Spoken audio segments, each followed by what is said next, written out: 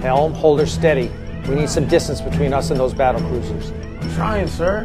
Those monsters are fast.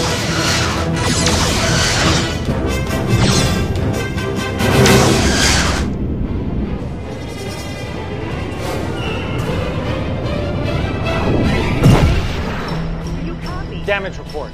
Shields holding at 60%, aft torpedoes disabled, impulse engines damaged but still operative. We have warp power, but not for long. Breach, this is engineering. Garth, what the hell are you doing to my ship? Alexei, divert all non-essential power to the aft shields. Keep those warp engines intact.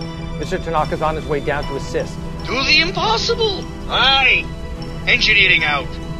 That's not your ship.